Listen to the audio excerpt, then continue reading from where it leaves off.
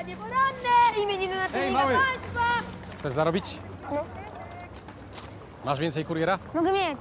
Wezmę 10. Mamo! Chcesz sobie gabinet wytapetować? Śmieję się, śmieję. Ale lepiej się mnie trzymaj. Zobaczysz, za niedługo będziesz takie operacje przeprowadzał, że w całej Europie będzie o nas głośno.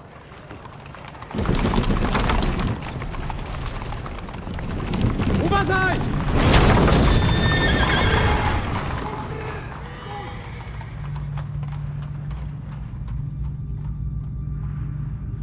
Stasiu! Synku!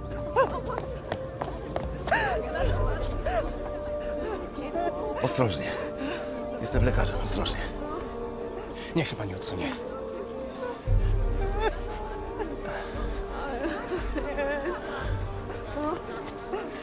Czy syn ma ubezpieczenie? Ubezpieczenie czy macie? Czy mąż pracuje? Co?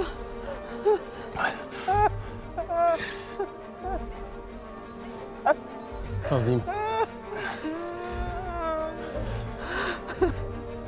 Rafał, Żyję. szpital miejski? Za daleko.